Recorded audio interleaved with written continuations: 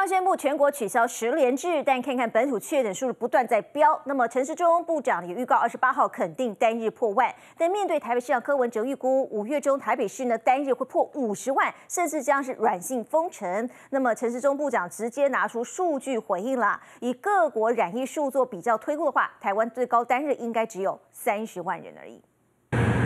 走到哪扫到哪，实行将近一年的简讯十连制，中央宣布二十七号起正式说拜拜。宣布哈，从今天起，哦，我们取消简讯十连制，哦，那其余戴口罩相关的这些规定，啊，都维持哈，跟以往一样哈。不用再主动扫条码，但本土疫情根本还没趋缓，确诊案例天天创新高，就连阿中部长也坦言，破万就要来了。明天就过一万了嘛。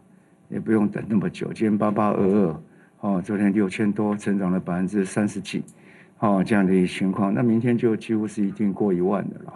破万之日即将来临，就怕一路失控飙高，拖垮医疗量能。尤其台北市市长柯文哲预估北市五月中确诊数将破五十万，扬言软性封城。确实，柯市长哈，那提出这样的一个数目，确实也看起来也，好蛮就是让大家会蛮不安心的。这约略如果最多也是三十万哦，所以要破这个这样的一个世界纪录，台湾是不是有这样的可能性？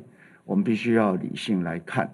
一语制造恐慌，城市中拿出实际数字来压压惊。从各国人口数推估，美国将近三点三亿人，曾经最高约有一百三十到一百七十万确诊；韩国五千一百三十三万人，约六十二到六十八万人染疫。相比台湾两千三百万人，城市中预估最高只有三十万人感染。这里柯市长的数字似乎还有段距离。必要政策调整为当前共存首要目标，恐怕不是数字账面上喊喊，又回头要软封城，如柯师傅想的那么简单。记者综合报道。